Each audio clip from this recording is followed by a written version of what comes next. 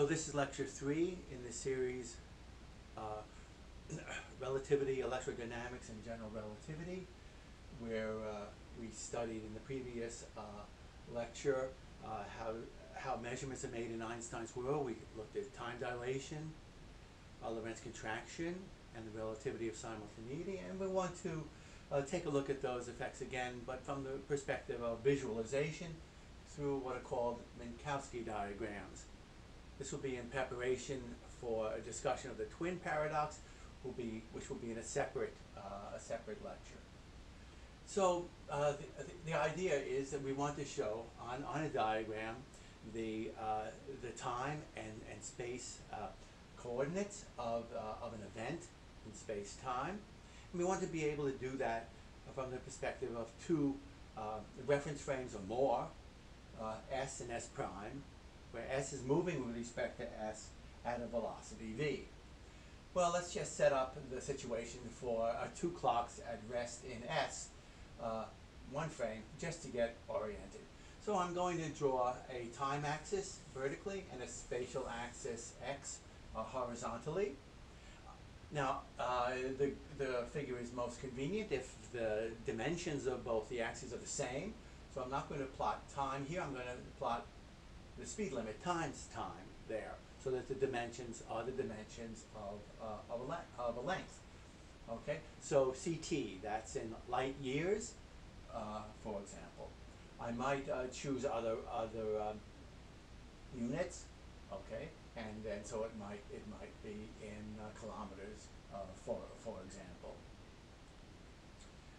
Uh, the x-axis similarly. I might choose millimeters or kilometers or whatever is, is handy.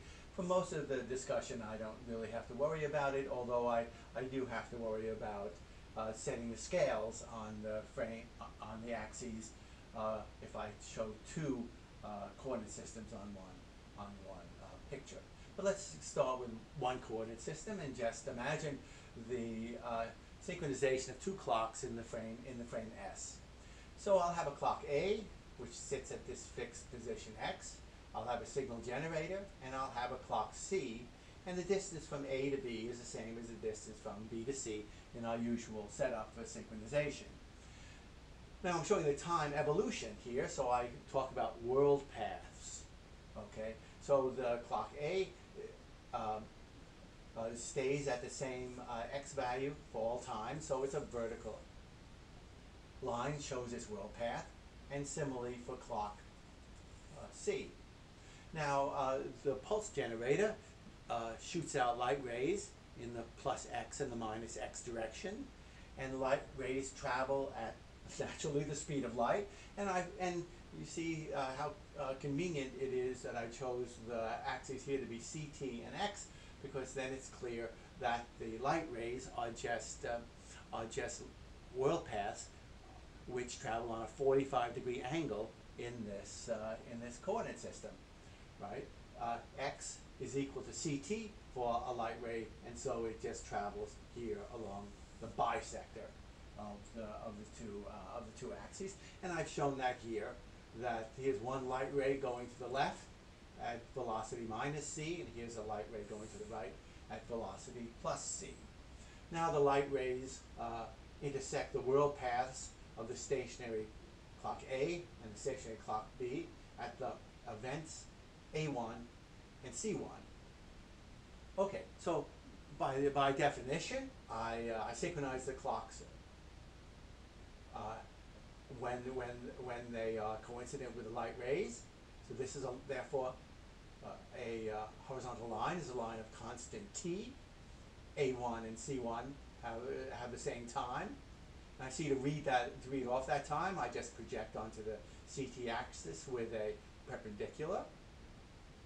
I notice that lines of constant time are lines which are parallel to the x-axis. Lines of constant position are parallel to the CT axis. I'll usually say t-axis just for brevity. Okay, and that's how you read off coordinates and, uh, and such in such in such a picture. I'm belaboring it because when we come to uh, putting two coordinate frames into one picture, I have to be careful about it and think again about lines of constant t prime and lines of constant x prime.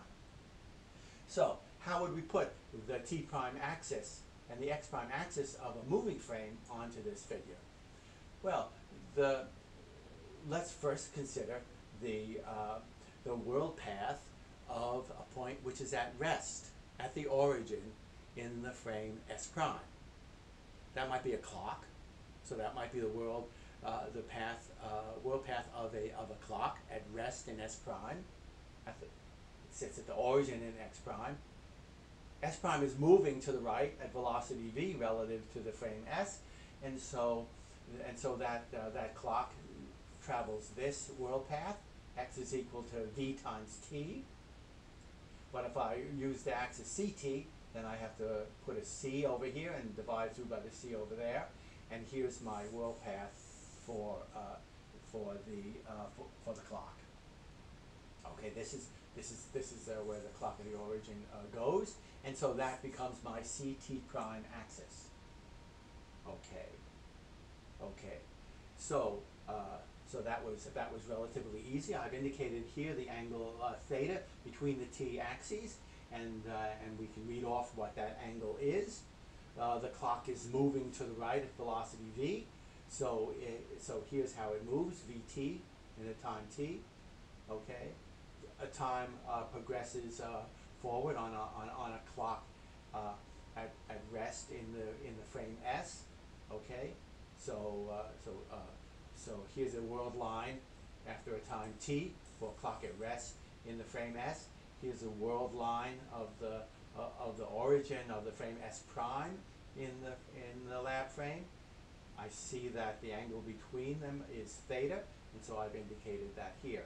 Okay, this vertical being the C, the CT axis, and this line at the angle, as you see here, the world path of the clock at the origin at rest in S prime at an angle theta.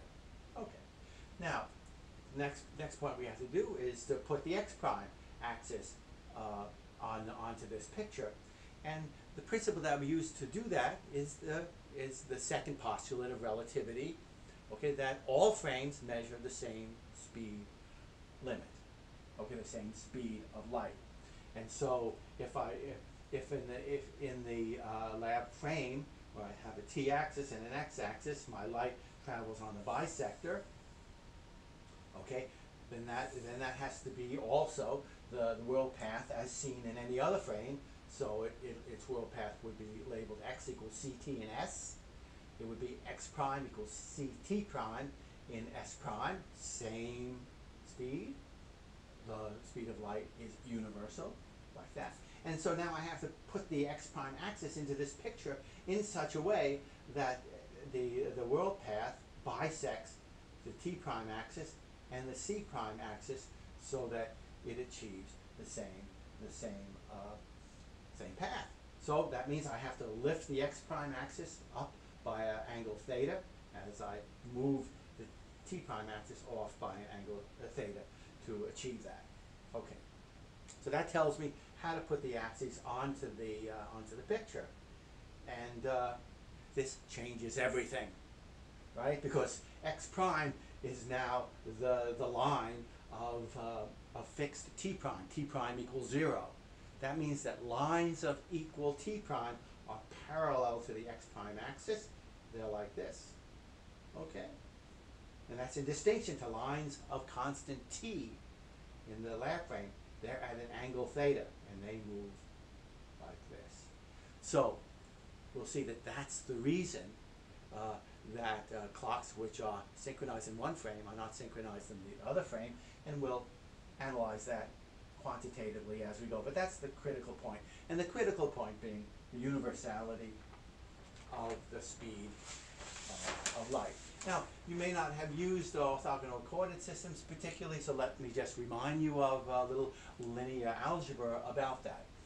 For example, I might have a, uh, an event P on my Minkowski diagram, and uh, I might want to read off what the t prime and the x prime is for, for that point.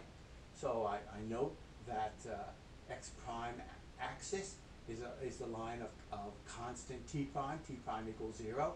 So the other lines of constant t prime are parallel to it, And so, and so I, I, I form a, a parallel line to the x prime axis that projects down to the t prime axis and I read off the, the t prime for that event. And then similarly for the x prime value. The t prime axis is the line of constant x prime.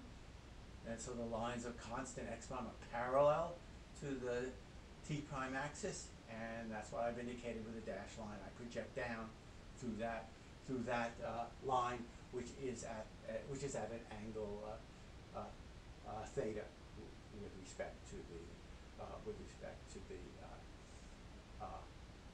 the x prime axis. Okay. Right. and then and now and now over in this particular case, I've shown the same situation, except in the case that v is negative. It might be that my my uh, my frame S prime is moving in the opposite direction, moving in the minus x direction. Well, it's moving in the minus x direction, and theta, tangent of theta was v over c, and now tangent of theta is negative. Theta is negative, going in the opposite direction. So my t prime axis lies to the left of my t axis, okay? And then, uh, and then therefore my x prime axis lies not above the x axis but below it by the same amount theta, like that. And then now I've imagined a, a point P, and I, and I want to measure its, its coordinates in both frames. Well, that's easy to do in the frame T and X because they're orthogonal axes. So, so I just draw perpendiculars. In other words, X is a, is a line of constant T, T equals zero. Okay, and so the lines of constant T are horizontal, and I, so I read off T sub P by putting in those parallels. And then similarly, the lines of constant x are uh, parallel to the t-axis, and I drop it down like that. And uh, you know, I notice those uh, lines of constant t and constant x are perpendicular to one another. So this is the usual process of dropping a perpendicular and dropping a perpendicular. And then I read off my t prime and my x prime uh, coordinates as I did up here by following the lines of constant x prime and constant t prime they're at an angle, and so I'm careful to, to show them here at, uh, in this case, at an open angle which is greater than pi over 2, while in this case, my opening angle was less than pi over 2. Okay. Okay. So now we can, once we have that, once we have that, that settled, how to uh, put down the axes, I can look, for example, now in one, in one picture, uh, how the uh, synchronization of clocks uh, in, in a particular frame in S prime is done. And then I can, since I have the t and the x axes on the same picture, I can read off what that means from the perspective of an observer in the lab frame. And here it is. Okay, so here uh, I have uh, a clock A and a clock C, but now they're at rest in the frame S prime. Okay, and so their and so their world lines are now tilted by the angle theta relative to this t-axis, okay, parallel to the t prime axis. So world, world line of A, world line of C, world line of, uh, of, the, uh, of the clock at rest in C, in S prime, that's the t prime axis. Okay, just like, just like that. Okay, and, uh, okay, and so I've, I've shown here then the, the t prime and the x prime axis in the case that v is positive. And I've taken my t and my x axes by convention just to be orthogonal for the case of the lab frame. Okay, and so now I do the synchronization process, and uh, from the midpoint between the two clocks, I shoot off a light ray to the left and a light ray to the right. Uh, where, where they hit the, the paths of the clocks, those points are simultaneous in the frame S prime where the whole process is occurring with a at-rest pulse generator and at-rest clock. So I've indicated that here, this light ray goes at 45 degrees, this light ray goes at 45 degrees. And I see, of course, that the line of constant t prime, okay, is parallel to my x prime axis. It's at the angle theta relative to the horizontal axis, which is my x axis. And so from the perspective of T, okay, from the perspective of the lab frame, A prime and C prime occur at different times. There you have it. That's the relativity of simultaneity. The, the, this is a line of constant T prime, as you see by definition, because that's how I synchronize my clocks with those light rays. This is the line of constant T, and there's a discrepancy uh, between them. Clocks are synchronized in S prime, and they're not synchronized in S. Okay, so let's do that quantitatively now.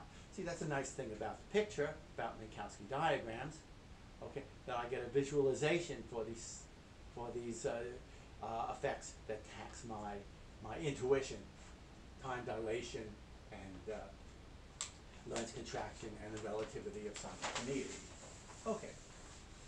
So now I can look at two, two clocks. Let's say at first they're at rest in S, and let's see how much they're out of synchronization from the perspective of the clocks in S prime, and then let's turn the tables. Always like to do it from both perspectives to see that I have a consistent picture to avoid paradoxes.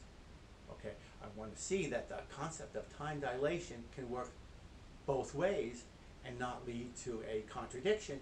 And I see here already the precursor to that idea, the fact that the, that the lines of constant t are not parallel to the lines of constant t prime, so the two uh, coordinate systems can disagree in simultaneity. And so here we have it. Here we have uh, the sa- uh, here we have a couple of clocks which are a distance L naught apart at rest in the frame S. So one of them travels as a world path of the CT axis, the one at the origin, and then the one a distance L naught away uh, goes up, has a world path like this. And you see, I've synchronized them in the frame S. They're both reading high noon at a position of constant time. Okay, now, now um, S prime takes a look at that situation, and S prime's x prime axis is tilted at an angle theta, and so this is his line of constant t, which might be his line of t prime equals zero. Okay, and he sees immediately, you see immediately that of course the clocks are not synchronized from his perspective because the x prime axis is at an angle to the x-axis. The lines of constant t prime are at an angle theta to the lines of constant t. Okay, and so and so now I can I can read off uh, how much uh, the uh, observer fixed in S prime says the clocks synchronized in S are not synchronized from his perspective by doing a little geometry here. Here, this distance is L naught. This distance I'm just between these clocks I'm labeling as uh, as uh, D, okay, and uh, okay, and uh, and D I see here is just the the time that, that passes between these two events. I call that T. Okay, I read off from, from the picture that that D D over L naught is tangent theta. Tangent theta is V over C, so there's uh, there's that, and then I and then uh, the time that passes in the frame S is the length D, written as C times T, okay? And so C times T is L naught V over C, so T is L naught V over C squared. That's the relativity of simultaneity, the equation that we, we that we got in the previous lecture, but probably obtained here in a in a way which is much more uh, agreeable to you, right? It's it's a bit of a puzzle to do it just in just in words, and I think the figure helps uh, helps it out uh, a, a great deal. Okay, now let's turn the tables, however, okay, and imagine uh, two clocks which are which are at rest in uh, in S in in, in S prime, and now are viewed uh, from the perspective of, of, of S, and let's see that S agrees that uh, that the two clocks are not uh, synchronized, and that S gets the same equation for the lack of synchronization that S prime got in the case one. So turn the tables, and now I so now I have a clock number one moving at rest, moving uh, with respect to the lab frame. He's fixed in the frame S prime, moving at velocity v. Follows this path. Clock two follows this path like that. I say that there's a distance uh, between them in their uh, in their rest frame, which I'm calling L. okay? And then I know that this, that the, the axis here, that labels the, the x prime axis, is at an angle theta. So this is the line of constant t. So you see I've arranged the clock here to have the same, the hands are pointed in the same way, because they're synchronized, okay? Okay, and then, and then here's the line of constant t, and so I see that this, this clock here has its, has its hands, uh, before, earlier, okay, than, uh, than, than the clock, uh, at, at, at the origin, of course, because time is passing. So now I can get the dimensions of this, of this, uh, triangle, okay, I just use the law of sines, okay? So D is the sine theta, as L is the sine of pi over two theta, that's written down here. Sine of pi over two plus theta is cosine theta, this ratio then is tangent theta, that's V over C. Okay, but, but now D is the length of this, of this line, the line of, of time that passes in the frame S prime, so that's D is C T prime in this case. And so plugging that into uh, my formula here, I see that T prime is equal to L V over C squared again. Okay, and you see L in this particular case is the distance between the clocks in their rest frame.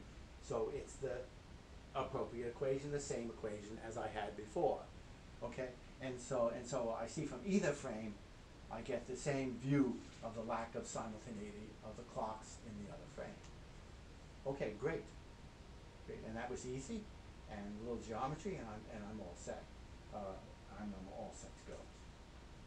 I, that's a simpler derivation, I think, than, than the previous one. Okay, now I want to uh, go, move on to uh, Lorentz contraction and time dilation in this in the language on Minkowski diagrams, but there's an exercise I have to do first. I have to set the scales of the tx axis and the t prime x prime axes in order to make a visualization uh, which will be quantitative. Okay. And I would have to do this in, in any case. This is not special to relativity. This is just uh, setting the scales if you're going to visualize a linear transformation. A Galilean transformation, for example, you'd have an analogous exercise. And I think it's uh, in one of the problem sets in your book. And you, so you might get the similar formula there as to how the scales on the tx compare to the scales on the t prime x prime axis in order that we incorporate Lorentz uh, contraction and time dilation and the other effects of uh, transformations between the two frames. So, so let's imagine a rod at rest in S, okay, and let's give it, uh, and let's give it a, a, an artificial length of gamma. Why do I want to do that? Because I'm going to imagine that I have a frame S prime which is moving by the lab frame at a velocity v with the appropriate gamma factor, and I want to say that uh, that the unit length in the in the x prime uh, uh, in the s prime frame is uh, is shown uh, as here on, on on the figure. So I'm imagining that I have a a rod at rest in the frame S, okay, and I want to say that I measure the length of that rod in the frame S prime uh, to be to be the distance from O uh, to B, just to set a scale, okay? Just to set a scale. But now I'm going to be incorporating Lorentz contraction, right? And so the length of that of that rod in the frame S, you see that's the distance at constant at, at constant uh, time in the frame S is along the x-axis. I'll call that gamma. I'll just adjust it to be to be gamma, because then S prime will come along and measure the length of that of that uh, of that rod to be one unit of length, which which is the rule of Lorentz contraction that the the length of the moving rod is gamma. Okay, and so when and so when S prime uh, measures uh, measures it, it contracts down to gamma over gamma, which gets me one, and that's what's stated. That's what's stated here. Okay, so that'll just that'll just set the scales, and you see the scales are set so that the picture incorporates the Lorentz contraction quantitatively. That's all that I'm doing here. I chose a particular way to do it. You might do it differently. You might want to choose this distance to be one and this distance to be one over uh, gamma to incorporate uh, Lorentz contraction, you get the same, you'll get the same answer, of course, it's just the ratio of the, uh, the distances in the two frames. Uh, but now I can finish the exercise off and, and, and, and see what, what, uh, what this length OB is in, uh, okay, uh, in, in, from the perspective of, the frame S. And I see, I just do a right triangle here, this distance is gamma, this distance is VC times gamma, right? That's, that's has to be the, this, this distance here, so the tangent theta is V over C, the ratio of this distance to this distance. Okay, so then the distance from O to B, o- okay, is then uh, just the, given by the hypoth- uh, by the Pythagorean theorem. It's in here. I do the arithmetic, and I get this uh, funny-looking uh, formula. So I see since OB is uh, is defined to be one one unit of length, that there is actually a change of scale, which is given by what I just what I just uh, calculated here. So I'll always incorporate that change of scale uh, when I write down uh, uh, the the units on the uh, on the axes t prime x prime as compared to tx, so that I incorporate uh, Lorentz contraction and similar time dilation in a single in a single uh, in a single figure, and that's what's done down here. Okay, so I've chosen a particular I've chosen a particular v over c. It's v over c is three over five. Okay, that's nice because it, when I do the arithmetic and calculate gamma, gamma is one over the square root of minus v squared over c squared. Okay, I just do the arithmetic, and then gamma is a nice ratio of of uh, small integers. It's five over four, and then s prime over s is about one point four six. Okay, so then so then for for example, I can take I can take a a uh, a rod at rest in in the frame S and sit it down here, okay, and it might and it has a unit length. Then I can put on uh, a, a rod at, at rest in the frame S prime, and it has a unit length, and I have to incorporate the change in scale, okay, to uh, to capture uh, to capture that uh, that length uh, uh, uh, appropriately, in, you know, in a way that, that, that fixes that fixes this the uh, the scales appropriately. Okay, so now I can so now for example I can I can observe the the for example a rod sitting at rest in the frame S and having length one. The ends of the rod go up the CT axis and vertically up here, and I see that one corresponds to point X in the frame X prime. That's Lorentz contraction. I built that in, and uh, and and that's and that's good. Okay, and similarly, I can put a rod on at okay at rest in the S prime act, uh, frame, so it sits along here, incorporating this change of scales, which stretches this axis out. Okay, one appears out here. I've done the arithmetic and uh, made a made a figure which is approximately, you know, uh, incorporating this funny factor 1.46. And now the end of, of this this rod, you know, this rod is at rest in, in x prime. Okay, so uh, so it, the end of this rod moves parallel to the t prime axis, as shown here, and it intersects the x-axis at point eight. Ah, you see, so that both observers agree that moving rods are contracted, and by the same amount. And I and I can incorporate it here in, in the in the uh, Minkowski diagram, and that's handy for me to when I when I uh, when I compare measurements between the two frames. Okay. So in, in recitation section, we, we might look at a better way of setting of setting those scales, a more sophisticated way, which u- which utilizes uh, the notion of uh, of invariance. But we'll get to it later in the lecture once we discuss Lorentz transformations and look for invariance of those transformations. Now, similarly, I can do time dilation. Okay, I use the same v over c, and I and I lay down my units of time in the t-axis, and then I lay down my units of time in the in the t prime axis. There's a change of scale. It stretches the t prime axis as shown there. And now I see a time dilation, okay? I see that, I see for example that the lines of constant t prime are parallel to the x prime axis. I go over here and I see that if, if a time of five passes in the s prime frame, then a time of four passes in the s frame. And then similarly, I can, I can go in the other direction and, uh, yeah, wait for a time of five to pass in the s ax, in the s frame, okay, and see that lines of constant t are, perpendicular to the ct axis, that that corresponds to a time of four in the uh, s prime frame.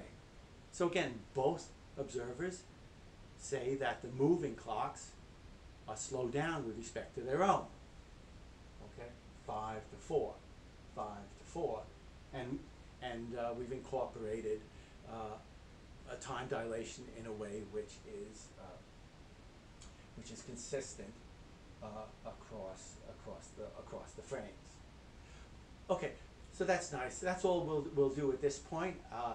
Uh, we'll we'll come back for the part B of this lecture uh, on the Minkowski diagrams, which will look at the Doppler effect as a precursor to the twin paradox, and then do a thorough uh, discussion of the twin of the twin paradox, actually in such a way that will set us up for discussion of the equivalence principle when we come to general relativity.